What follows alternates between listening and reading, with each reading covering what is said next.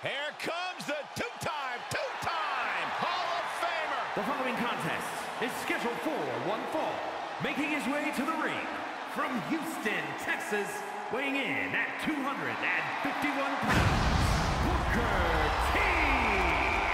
Think of everything Booker T has earned. Countless titles, a crown, a scepter, and a Hall of Fame ring. Nothing left to prove, but still up for a good fight.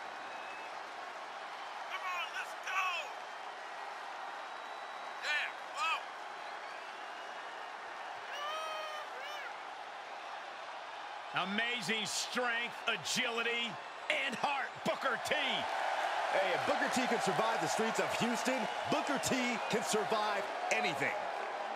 How about an encounter with Sax Diesel? Well,